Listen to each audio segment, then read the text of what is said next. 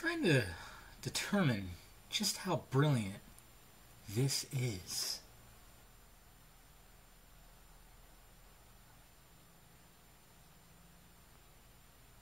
Baby Sonic, if they added it recently, brilliant.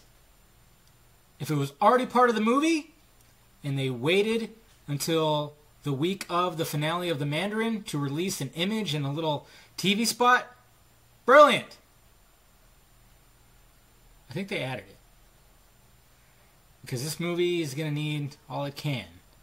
And it started trending immediately. People are comparing it to Baby Yoda because they're going back and forth who's cuter. And a lot of people are loving how cute this little guy is. Brilliant.